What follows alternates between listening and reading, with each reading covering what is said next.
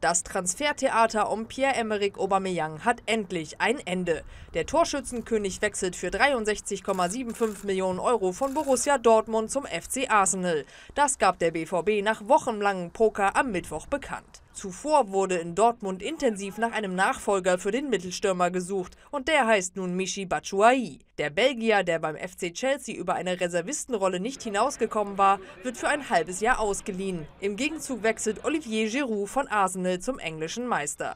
Nach viereinhalb Jahren, 144 Bundesligaspielen und 98 Ligatoren endet nun also das Kapitel Pierre-Emerick Aubameyang und bei Borussia Dortmund wird jetzt wohl wieder Ruhe einkehren.